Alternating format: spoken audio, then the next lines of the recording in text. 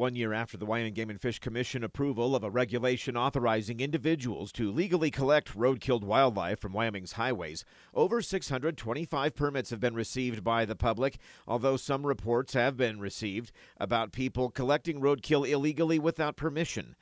Authorization is easily granted through an app developed by the Wyoming Game and Fish and Wyoming Department of Transportation. It's included in the Wyoming 511 app.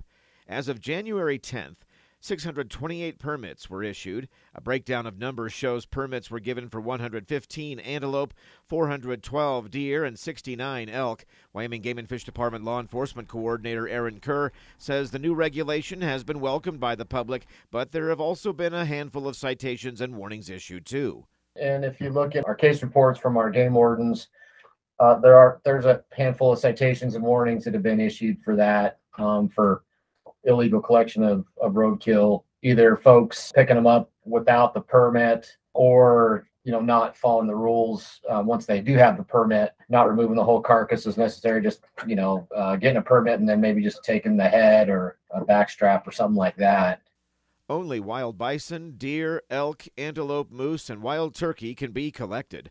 Carcasses must be removed in their entirety, both edible and inedible portions. Wildlife cannot be collected on interstate highways, active construction or maintenance zones, or on any roads in national parks. Field dressing on roadsides is prohibited. Meat cannot be donated to nonprofits. Permission to collect roadkill is only valid for unintentional motor vehicle collisions. Interestingly, 31 moose and one wild bison were also claimed by motorists. The Roadkill app bypasses the need to contact game wardens or other department personnel to collect roadkilled wildlife. Authorization is granted through using the 511 app or by going to either the Game and Fish or WYDOT websites. Applicants may be asked to present the animal for inspection upon request. No one is authorized to euthanize an injured animal under the regulations. Submitting false information is a violation and could mean a fine of up to $1,000 and six months in jail. The app is available on both Android and Apple devices. This is Ray Hageman with the Wyoming Game and Fish Department.